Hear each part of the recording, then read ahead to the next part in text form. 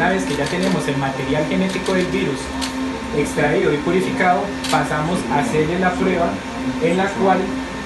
detectamos marcadores biológicos muy específicos que están en el material genético del virus, por eso se llama biología molecular, por eso es una prueba de biología molecular. Sin embargo, pruebas de biología molecular hay varias. Nosotros usamos una prueba de biología molecular que se llama RT-PCR en tiempo real. RT significa retrotranscripción y PCR significa reacción en cadena de la polimerasa. Entonces, una vez que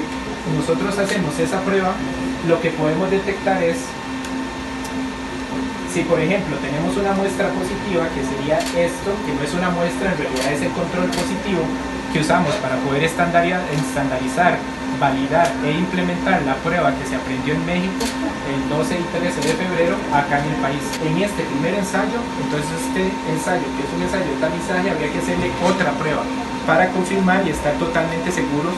de que esa muestra, ese paciente de verdad o esa muestra de verdad tiene el virus. La otra prueba es exactamente igual a esta, solo que usa otros marcadores biológicos, pero igual es por biología molecular y es la misma muestra que se preparó allá, nada más se le hace otra prueba y ya podemos confirmar el resultado visto en ese paciente. Este ejercicio de mostrarles hoy cómo se procesaría una muestra sospechosa por COVID-19 en el Ciencia es primero para que ustedes conozcan de primera mano justamente cuáles son los procesos, cuáles son las medidas que se llevan a cabo y también hasta los tiempos. Otra muy importante es darle la información a la población, que ya le hemos indicado la semana anterior, que en Costa Rica ya contamos con la capacidad justamente para detectar el, este tipo de enfermedad, ¿verdad? el COVID-19. Con respecto a los tiempos, ya lo hemos indicado, nosotros posiblemente vamos a manejar para muchos de los casos de un día para otro, a lo sumo para tener la confirmación. Lo más importante aquí es indicar, en el momento que tengamos un caso sospechoso,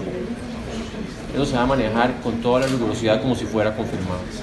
Habrá momentos en que justamente se tomará más tiempo, la cantidad de muestras, recordemos que puede venir la muestra desde un lugar más alejado, este, algún asunto que haya que ajustar en laboratorio, entonces sí en realidad puede haber un margen más alto ¿verdad? de procesamiento de la muestra que puede pues, superar las 24 horas, pero como les digo, muchas veces lo que vamos a tener es la confirmación eventualmente de un día para otro, lo sumo el día siguiente. Lo importante es manejarlo como si fuera confirmado, en todos los sentidos, en aislamiento, en el, abordaje clínico del paciente, en lo que es los contactos también y si se requiere eventualmente contactos asintomáticos, el aislamiento domiciliar, que ya está muy bien indicado y claro en los protocolos, eh, y las medidas de comunicación que obviamente ya hemos indicado, vamos a ser muy claros, transparentes y oportunos en dar la información de que tengamos un caso sospechoso.